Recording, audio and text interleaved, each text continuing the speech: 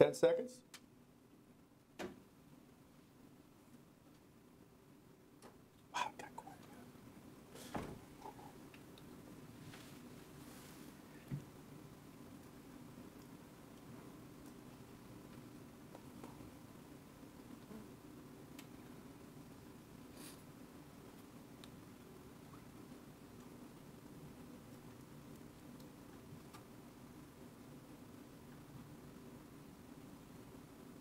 What's that? Uh, Good morning, everyone. John Connolly, President of the Twin Cities North Chamber of Commerce. Hey, thanks for joining us here at the Roseville Business Council. First of all, a shout out to the Ayres Engineering Team for uh, their uh, treat of donuts and Dunkin' Coffee. Thank you so much, uh, Jose, and your team for, uh, you know, bringing hospitality to the Roseville Business Council. Appreciate it. And to our host here, uh, the City of Roseville, thanks so much for opening up uh, your City Council chamber for the Roseville Business Council. Uh, Before we begin, I'd like to thank uh, the other sponsors here, uh, Hiway Credit Union, McGough, and Visit Roseville. Because of their support, we can continue to share uh, the important programming and meeting uh, the expectations of the businesses to stay informed about what's going on here in Roseville. And we just like to keep connected, and it's our way of keeping connected on a monthly basis. So now I want to uh, officially start the meeting by going around the room and have everyone introduce themselves. And uh, here in the council chambers, please share your name and the organization you're affiliated with. And with that, let's start with you. Hi, everybody. Josue Gonzalez. I'm with Ayres Associates. And thanks again. Yep, you're welcome. Uh-huh. I'm Deb Nygaard. I'm with Arthur Senior Care. Good morning, I'm Matthew Weiland with Clear Channel Outdoor. Good morning, Matthew Johnson, uh, Roseville Parks and Recreation. Good morning, I'm Matthew Clydesdale. This is the The Matthew. Matthew Road. Road. There's a few Matts We here, planned on huh? Yeah, we find each other. Yeah. You got the Uh, trifecta in that room. McGuire Insurance Agency. Uh, Pat Trudgeon, City Manager for Roseville. Morning, I'm Dan Roe, the mayor of Roseville. Morning, Kate Doohan, Commissioner Mary Jo McGuire's office at Ramsey County. Jim Anderson, I'm just a resident. Good morning, I am Gina and I am representing Namaste Brows and Boutique. Jack Livingston, business banker, Royal Credit Union, and ambassador for Twin Cities North Chamber. Yes. Margarita Jules for Banking Trust. Melissa Fournier. I'm with Visit Roseville. Glenn Matthews from Oxygen Service Company. Jeannie Kelsey, City of Roseville Housing and Economic Development Program Manager. Okay, and thanks everyone for joining us and those online that are going to join us too as well. And now I'd like to introduce uh, Jesse Freihammer, the Public Works Director for the City of Roseville. Uh, After receiving his degree in civil engineering from North Dakota State University, Jesse joined the City of Roseville staff in, in 2015 and is now serving as Chief City Engineer and Assistant Public Works Director. He was promoted to Public Works Director in November of 19, or excuse me, 2022, 19, whoop, uh, 2022. Jesse is going to help us understand what's happening in Roseville as far as construction coming up this season. Jesse, thanks. Yeah, thank you, John. Um, thank you, everyone. Um, going to give a quick overview of what Roseville plans to do this year for our construction projects. Um, we also, no one from the county could be here, so we'll kind of go through some county projects that'll be going on, and then uh, I'll turn it over to MnDOT, and they will go through a couple larger projects that'll be going on here. Um, So this map uh, kind of shows what is all going to be happening here in Roseville. So this includes um, both the co- the county projects and MnDOT projects.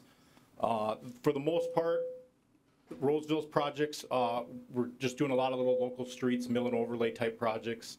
Um, Those are all the streets in red, so pretty minimally impactful to the businesses. Uh, Most of these are in residential areas, so it should be real minimal impacts. Uh, We do have a couple pathway projects we'll be doing. Um, These will be a little more impactful, although should- they should be pretty minor with just some lane shifts as the, the whole road shouldn't be closed down. Uh, One of those is actually out on Cleveland Avenue, just north of Iona, north of the, um, the, uh, the bus, tr- uh, rep, or the bus uh, transfer over there. So just north of Iona, connected up to where CPC is. They, they built a sidewalk a few years ago, so we're completing a gap there. Uh, The other one is on Lexington Avenue, uh, across from the high school, across from the tennis courts. So we'll be completing a, a a segment between Trunk Highway 36 up to County Road B2. Uh, And then the other one is in a more residential area, is off of uh, Marion Street from Larpenteur up to uh, the end of that cul-de-sac. Um, We are doing a couple other utility projects, some lift station work, uh, but those should have minimal impacts. And then we are also doing, painting the inside of the water tower. Uh, So it shouldn't be very visible, but uh, hopefully no impacts to anyone on those projects. Uh, The other project Roseville's looking into is we are studying the intersection of um, Snelling Avenue and County Road B for some pedestrian improvements. Uh, There's a lot of pedestrian activity there with the mall uh, and the multifamily residential, as well as the, the bus rapid transit line. So we're looking into that, hoping to have that study wrapped up by the end of the year. Um, And that will actually be in conjunction with the project that uh, MnDOT will talk about here shortly. So that's kind of it for Roseville projects. Um, So Ramsey County actually has a lot going on. Most of it is actually kind of future work, but, um, you know, county just included this in their slides. You know, they, they, they do maintain uh, about 293 miles of roads, um, varying, uh, varying amounts of traffic on their roads. Um, They are starting to add a lot more sidewalks and trails on their system, um, including some bike lanes. And then obviously, they maintain a lot of the signal systems uh, in, in the area. So their, their current tip has not, or transportation improvement plan has not been adopted yet. That will be done in early April. Uh, but the, the projects lists are, are pretty much locked in place, but it hasn't been formally approved by the board. Um, So one update they do have, I know a few businesses and a few residents here uh, probably impacted by the project last year. So Lexington Avenue, this is more in Shoreview, Arden Hills, but that project was a carryover from last year. They do anticipate that to begin here uh, in late April um, and hope to have it completed by early August. Um, They do, will have some phasing, we'll be back, to one lane for a good chunk of that. Um, And it sounds like there will be one week where they have some work at the railroad where they'll actually have to detour traffic once again. Um, Otherwise, the other project, actually, Roseville Council just um, uh, took some action on this on, on Monday night, was uh, Victoria Street corridor study. This was completed last year, but looking to add a pathway on the west side of Victoria Street from County Road C um, up towards Harriet to, to complete a, a- gap there. Um, Basically applying for grant funding, but that would be a, a future project, uh, likely in either 28 or 29 if funding is secured.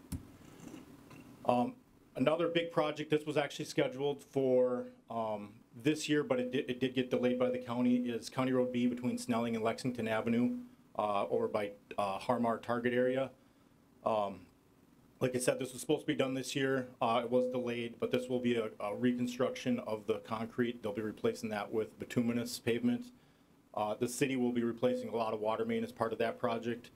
Um, There will be construction impacts. They do anticipate keeping the road open uh, to businesses, but traffic will most likely be down, down to one lane uh, for the duration of that project. So more to come on that. They, they do plan to do another uh, engagement, uh, probably this time or maybe a little bit earlier next year, once we get a contractor on board. Uh, And that'll most likely take the length of the summer, but we, we do anticipate getting that project wrapped up in one construction season. Uh, The other project that is ongoing for studying, but will also be a 2024 project, is Dale Street uh, from Como Avenue to, to to Highway 36. So the county is looking to convert that roadway from a four-lane roadway to a three-lane. They'll do that in conjunction with a mill and overlay. Um, And then they'll be replacing traffic signals as part of that project at uh, Larpenteur County Road B. Um, Then the other project, uh, continuation, um, I know the county is doing work on Rice Street south of Wheelock, but uh, coming into Roseville, they will be, begin that process late this year, early 2024, from Rice Street from Wheelock up to County Road B. Um, This will also be in conjunction with the G-line design that Metro Transit will be doing. Um, And a lot of this will be tying off of the uh, Rice Street visioning plan uh, currently underway. Um, but yeah, so this will be a big project and a lot more to come with a lot more engagement with the community in the next uh, couple years. And then just to to highlight, um, you know, like I said, the County Road D, pro- or, um, the Dale Street project is part of this four to three lane study, but there will be uh, a couple other projects potentially in Roseville in the, in the upcoming years. County Road C, the county's looking at, um, Fairview Avenue between B2 and C2, and uh, County Road B, County Road B2 between Long Lake Road and Fairview. So county is still looking at a few of these safety upgrades uh, going on, ongoing into the future. Um, And then the other big project the county did want to highlight is they are going through a Ramsey County 2050 All Abilities Plan.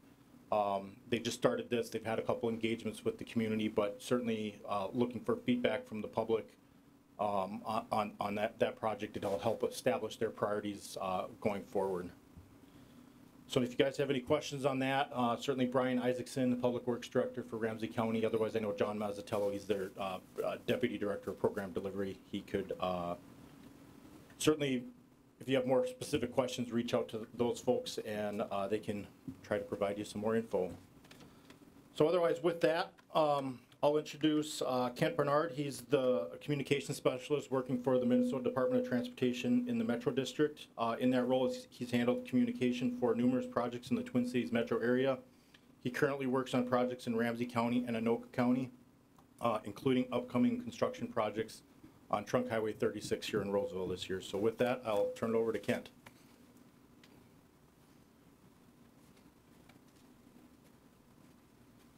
Thank you very much, and I'd like to thank John too for letting us come here. I actually was hoping that a project uh, engineer that is working on our Highway 36 Fairview Avenue project would be here, but instead you're stuck with me. Make sure I know how to advance the slides here. Should just be able to use the arrow. Is it this one here? Oh, okay. Okay, um, the green on this slide shows the entire area that's going to be affected by the Highway 36 Fairview Avenue project. Uh, we're looking at getting started on that probably sometime in early June. And, uh, actually, the, uh, we're gonna have some retaining wall connected in here, and, uh, that's kind of on this, on this particular slide, and also a sidewalk on the east side of Fairview Avenue. This slide shows the two right turn lanes that are gonna be constructed for movement onto northbound Fairview Avenue to the mall and to the business district north of the mall. Got several things we're gonna be doing on this project, including new pavement, obviously, uh, at the, uh, at the uh, mall, and the ramps are gonna be rebuilt. We're also got, we've also got drainage out there, we're gonna be putting in a sidewalk, and we're also going to be putting new pavement on the ramps to and from Highway thirty-six, and then new signals and signal configurations for the construction area and the intersections within that project area. And for all intents and purposes, the construction area is basically County Road B up to County Road B two. Um, some of the things we're gonna be doing, we're gonna have a thirty-day closure on the ramps from Highway thirty-six eastbound and westbound. There will be a signed detour for that. The signal replacement and revisions at the four intersections within the project area. Uh, we're going to have periodic single lane traffic between County Road B two and County Road B on the project. There will be one full weekend closure of Fairview Avenue. There will be a closure and a detour for that. And that'll be in that same area, County Road B to County Road B two. And then our traffic impacts, um, we're probably gonna start at late April, early May, somewhere in there. And we're gonna be going through August twenty-first, for, twenty-fourth, excuse me. And the big important part of that is, we are going to be out of here and done with the work before the state fair. And that has been promised. Not by me, by the project engineer.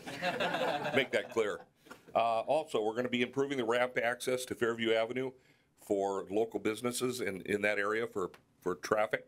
Uh, the improved traffic signals, we're gonna be putting in some ADA improvements there, which would be pedestrian, um, APS, which is the audible pedestrian signals there. And we're gonna be putting in what's called a truncated dome, which are the small dots that let people know that they're approaching, uh, crossing. Um, we're also gonna be improving the drainage there, and if you've ever been out on Fairview Avenue when it rains, uh, a few years ago, my mother-in-law and my wife and I went, and we had cars actually stalled underneath Highway thirty-six at Fairview because it rained that much. So hopefully this project will totally take care of that issue for us. We won't have cars sitting out there in the water anymore. Uh, we're also gonna be improving pedestrian access with our new trails out here. And, uh, estimated cost for this project, about four million dollars, so it's, uh, fairly substantial for us. Um, this shows the ramps that we're going to be working on. Um, unfortunately, engineers tend to look at these types of maps and they don't turn them the same way I would do because north is actually this way on the map. But this is the, the ramps and the loops at Fairview and Highway 36 that we're going to be working on. And here's the West Mall entrance. Uh, Rosedale is right here. We're going to be working on the mall entrance and we're going to be improving that to get traffic in and out of the mall better. And this is Marketplace. I, I wish they were oriented the other way around because it'd make things mm-hmm. easier to explain. But Marketplace is on the west side of Fairview Avenue. We're going to be doing some work there at the entrance. And then we're also going to be working on the service road, which leads over to Applebee's and some of the restaurants over there. And here, we're going to have the weekend closure. This shows basically where we're going to be closing from County Road B up to County Road B2. And then we're going to have to close the uh, loops there at the interchange. Another project that we just had our construction conference for was the work at Highway 36 and Hamline Avenue. And that's going to be starting here probably the end of April, the first part of May. We're going to be out there replacing the signal system at Hamline, just north of Highway 36, right by Cedarholm Golf Course. Uh, Cedarholm will remain open, so if any of you go and golf there, you'll still be able to go out and uh, swing the clubs this spring and summer. This is going to be a fairly short project. Um, part of the problem at this particular interchange is the signals have gotten old and they don't meet our current standards for design, so we have to replace them. There again, we're going to be doing Americans with Disabilities updates at that particular interchange. And uh, we're also going to be doing a little bit of drainage work here and uh, working on some sidewalks in the area. And this should be done probably sometime July. Excuse me. The other big project that we're going to be doing, and this is next year, but I wanted to bring this to people's attention. We're going to be working on Highway 36 between 35W and Edgerton Street. It's going to be a resurfacing project, but we're also going to be building a new lane to carry traffic from southbound Interstate 35W to eastbound Highway 36. Um, there's going to be lane closures out here. We're going to have some ramp closures on this project, and it's going to go the better part of a construction season. We're looking at probably starting sometime around April of 2024 and be done probably by October of 2024. Then another thing was we are looking forward at the future of Highway 36 through this area. So we have a study that's underway. Uh, we do have a web page for that, and I can share that uh, later on with people if they want. But we're looking to see what we need to do to improve Highway 36 to handle future traffic in this area. Real important, uh, we try to communicate all this information to people. My name and number is up there and my email address, but we do have our website up there. And the Highway 36 Roseville website is the one that deals with the Fairview Avenue project. So if you have any questions about that, that's the best place to look for it. I'd also encourage you to sign up for our email updates. We will be sending those out at a regular basis for people when we're doing closures and other work out there that's going to affect traffic. So that is basically what I've got. Okay.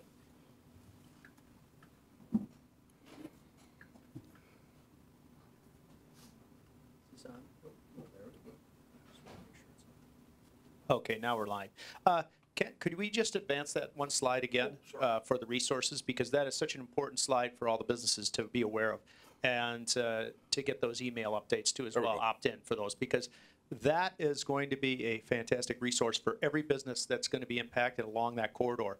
Uh, You know, every business is- that is around Rosedale or on, whether it's the east or west side, north, south, it's going to be, it's going to be impacting everyone around there. So uh, will it have detour routes, Ken? Absolutely. Okay, so probably to Cleveland or Snelling or uh, any of those.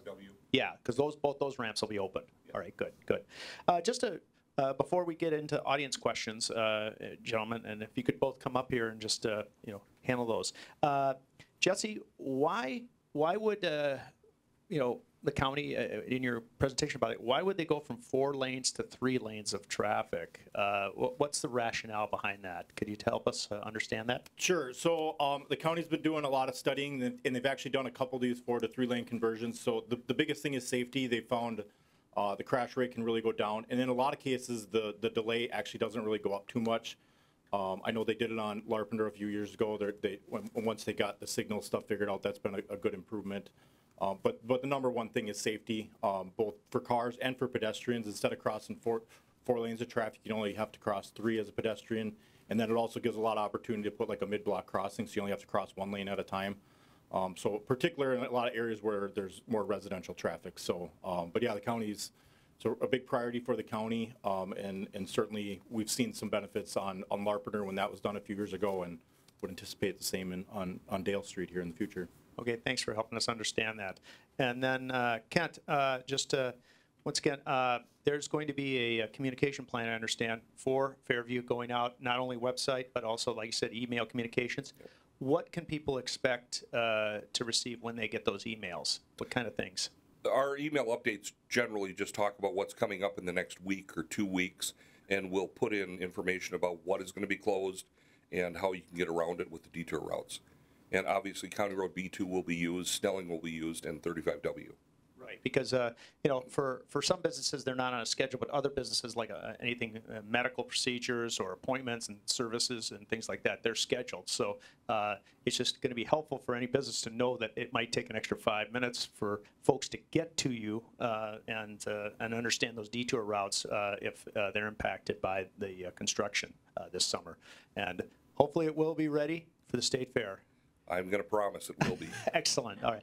And now I'd like to open it up to uh, our guests uh, here in the audience. Uh, I've got uh, the microphone, so please let, raise your hand if you'd like to ask a question of the Jesse or uh, Ken. John, before you, before you start, I also want to loop in online attendees if they have a question that they want to ask. Oh, thank you, Joel. Yes. The raise hand feature, and we can bring them in. as- Right. For those that are joining us online, if you could do the raise hand feature, uh, Joel uh, from the city of Roseville is going to manage that, and so we will get your question, uh, you know, available. Okay. Go ahead, Deb.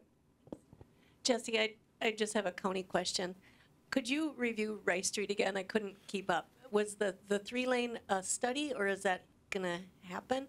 So, uh, so Rice, Rice Street is a multi-year project. Um, so I can't remember, I, I wish I'd have grabbed all my notes on Rice Street. Um, they, so Rice Street south of Wheelock is already under design, um, and it, I, the cross-section looks more similar to this. It might look a little different, um, but, so they are, the county's already committed to convert Rice Street south of Wheelock to a three-lane section.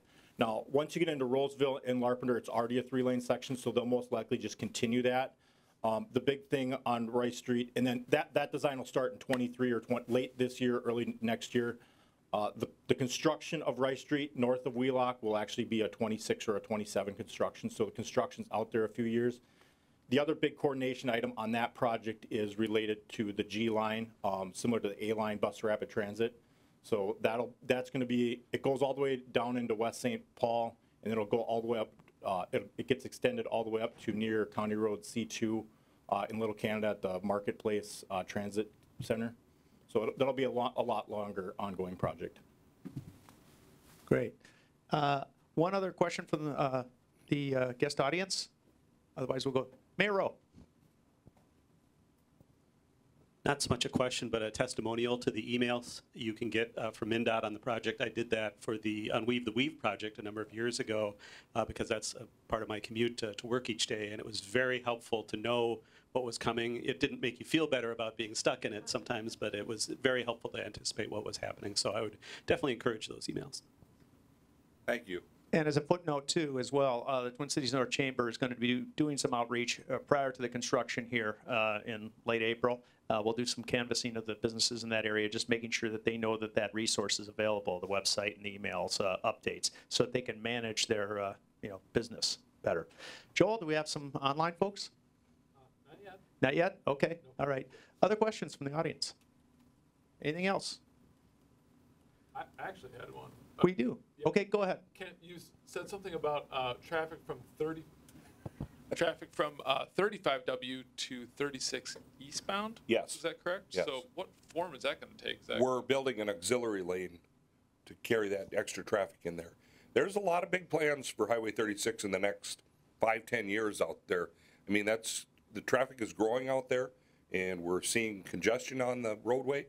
And uh, I don't know if people remember when we rebuilt the Highway 36 bridge over Lexington Avenue, we built it wider. So you may see an extra lane popping up there in the next 10 years. Great, and just to emphasize, uh, it was just three years ago, Kent, when uh, you and I put together the plan for I-35W, uh, when that was under construction, and we uh, let all those businesses know along that corridor, and it worked pretty well, and those businesses were very appreciative of having that resource available. So I encourage all the businesses to take advantage of that, uh, those resources, to help you manage uh, your business uh, and, and some of the highs and lows that are going to come.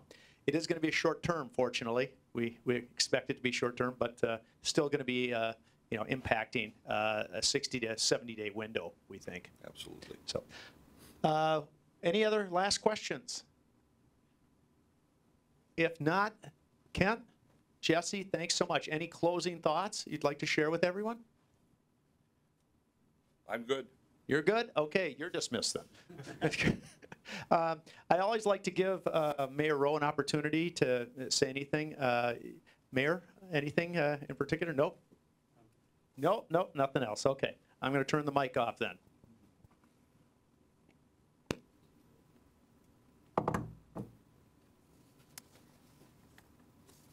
And now uh, I'd like to uh, just uh, thank, uh, again, the following folks for uh, supporting uh, the Roseville Business Council. First of all, thank you, Ayres, Ayres Engineering, for providing our coffee and donuts this morning. Thank you for providing the sugar and caffeine to keep us fueled up for the meeting. Also, I just want to thank our sponsors again, Hiway Credit Union, McGough Construction, and Visit Roseville for their support of our, you know, communities and our programs. Uh, On a note, we want you to join us on April 26th. That's our next Roseville Business Council, where Kim O'Brien will present on the Rice and Larpenteur Alliance. And you can join us in person here in the council chambers or online. Uh, Registration is open, and so it can be accessed on the websites of Twin Cities North at twincitiesnorth.org, uh, St. Paul Area Chamber, or, uh, you know, Grow Roseville uh, has that resource too, is available. One final note I want to mention is uh, there is a collaborative event uh, with the city of Roseville and uh, Ramsey County, uh, a, uh resource fair on the, four, the 13th, I believe, of uh, 14th, excuse me, the 14th of uh, April, and that is over at the John Rose Oval. And that is a resource fair for employers uh, to come check out. It's one of those reverse trade shows that uh, there's all sorts of resources for businesses to tap into if they're looking for workforce. And so I urge you to investigate more if that's an opportunity that you want to take advantage of. There's a link on our website as well as the City of Roseville and Ramsey County Means Business. And now, uh, I'd just like to conclude and say thanks again for uh, the City of Roseville for hosting us today. And for all those that are joining us virtually online, have a wonderful day. And those in person, have a wonderful day. We have coffee and donuts to share. Uh, and, uh, you know, we appreciate the opportunity to hear from Jesse and uh, Kent about the public works uh, going on here in the upcoming session and road construction, but also in the future. Thanks, everyone.